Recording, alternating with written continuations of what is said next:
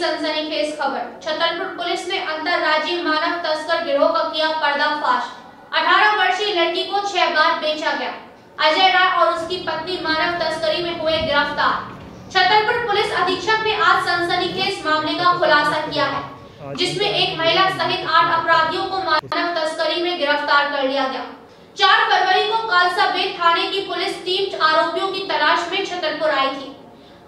कोतवाली पुलिस के सहयोग से गड़ी मलहरा थाना अंतर्गत दिवाली निवासी अजय राय और उसकी पत्नी को गिरफ़्तार कर लिया गया, जिसके बाद इस दंपत्ति ने एक के बाद एक कई चौंकाने वाले राज खोले। छत्तीसगढ़ में जशपुर ज़िले के कांसाबेट थाना क्षेत्र के ग्राम सूजी बाहर से निवारी के रहने वाले अजय राय और उसकी पत्नी ने 18 वर्षीय लड़की का अपहरण किया था, जिसके बाद इस लड़की को छह बार खरीद फरोख्त किया गया। आखिरी बार इस लड़की को सत्तर हज़ार में बेचा गया था। आखिरकार इस लड़की ने जिल्लत भरी ज़िंदगी से छुटकारा पाने के लिए उत्तर प्रदेश के ललितपुर ज़िले में खिरिया थाना बारपुर में आत्महत्या कर अपनी जीवन लीला को समाप्त कर लिया।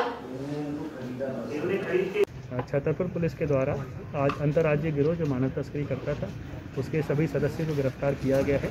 इसमें से कुछ लोग छतरपुर के कुछ लोग यूपी के कुछ लोग अगल बगल के ज़िलों के थे। इनके द्वारा छत्तीसगढ़ से एक बच्ची यहाँ पे लाई गई थी उसको फिर आगे बेचा गया था। और ऐसे छः लोग जो इसमें अलग अलग पॉइंटों पे शामिल थे उन सभी की गिरफ्तारी कर ली गई। जी सर इसमें अहम भूमिका सर किस थाना प्रभावी की रही है? मतलब किस थाना क्षेत्र की रही है? इसमें थाना कोतवाली की जो विशेष टीम गठित की गई थी इस केस की विवेचना में। उसमें उनका मुख्य भूमिका रही है, जिसमें उप निरीक्षक देवेंद्र यादव प्रमुख तौर पे सभी आरोपियों की गिरफ्तारी में शामिल थे।